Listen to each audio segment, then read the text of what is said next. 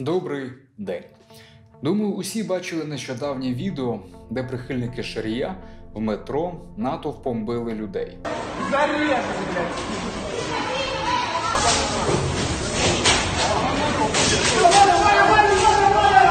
Перша емоція при перегляді опинитись в той момент там, влетіти в натовп, жорстоко пиздити і насадити сраками їх на флагштоки, якими вони били людей.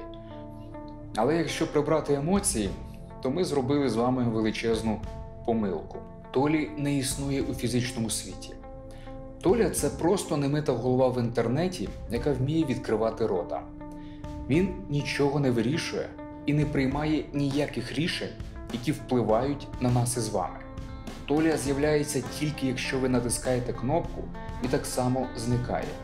У Толі, як у Пінокіо, є мрія стати справжнім хлопчиком, а не віртуальним. Він намагається стати частиною фізичного світу за допомогою навезеної тітушні та ображених людей, які дивляться його. Мне заплатили за акцию Шария. Толик, ходи сам на свои акции. Больше такого не буду делать. Шарей, Толик, ты пидорас, тетухань за тебя больше не буду. Это была моя ошибка. Але якщо б ми не звернули на це увагу, цей колективний пісюн пройшов би собі з прапорами, кілька каналів про це можливо сказали, і все. Всі про це забули. І Толя залишився б далі існувати у вимірі нулів та одиниць. Але через наші дії люди побачили, що колективний пісюн має вагу. У відповідь на їх протест, невідомо проти чого, виходять інші проти них. Поліція заарештовує більше десятка людей, а колективний пісюн їм дякує.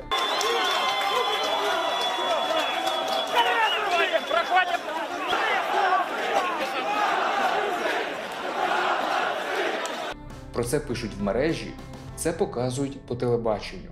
Пісюн радіє, люди обличчям в асфальт. Далі колективний пісюн натовпом в метро б'є людей. Люди у відповідь б'ють кількох із колективного пісюна.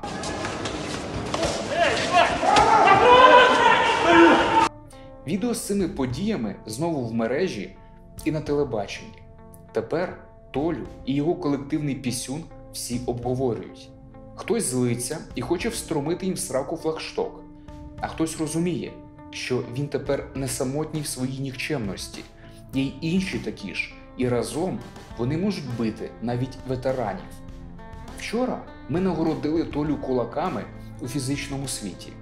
На мою думку, друзі, це вкрай небезпечно. Толя не ворог, з яким потрібно воювати. Толя це проблема, яку потрібно вирішити. Його ім'я не має бути частиною нашого дискурсу. Він і його колективний пісюн маргінали, про яких в пристойному суспільстві вголос не говорять, тому що це дурний тон, це вульгарність. Толя це як жарт про гівно на нагородженні Шевченківської премії. Толя це вульгарно. А його представників, які називають себе журналістами, треба просто виганяти з будь-яких заходів як сміття.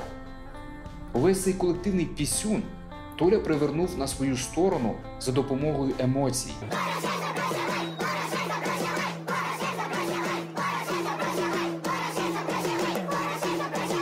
Тому реагувати на нього емоційно те саме, що добровільно давати йому в руки зброю. Якщо зламаєте обличчя декільком фанатам Толі, це не змусить Шарія, який боягузливо сидить в Нідерландах, видалити свій ютуб канал і розпустити партію. Навпаки, він це використає і з вашою допомогою приверне на свою сторону ще більше ображених інфантилів. І навіть якщо їх будуть пиздити постійно, і колективний пісюн буде боятись вийти на вулицю на мітинги підтримку Толі, ніхто їм не зможе заборонити голосувати за Шарія на будь-яких місцевих виборах. Вчора Сергій Іванов опублікував відео, де вони з командою наглядно дискредитували партію Шарія. Я дуже коротко хотів дізнатися. Від вашого імені був е, здійснений дуже великий переказ грошей на рахунки партії Шарія. Скажіть, будь ласка, це ви робили? А пізніше опублікував пост, в якому повідомив, що за його заявою відкрите кримінальне провадження на Шарія за відмивання грошей. А кілька місяців тому телебачення Торонто викрило брехню Шарія. Були затримані на Донбасі кадрові російські військові. Випадково не помітити масове вторгнення росіян неможливо. Але для пропаганди немає нічого неможливого. Регулярних російських військ не існувало для Росії 24 та Анатолія Шарія. Ось як потрібно вирішувати проблему Шарія і зменшувати його аудиторію аргументами. Бо на ваші кулаки Толі в Нідерландах начхати. Посилання на згадані мною матеріали будуть в описі під відео.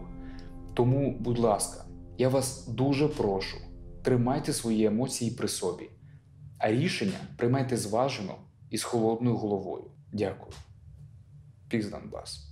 Я считаю, что он, у него правильная позиция.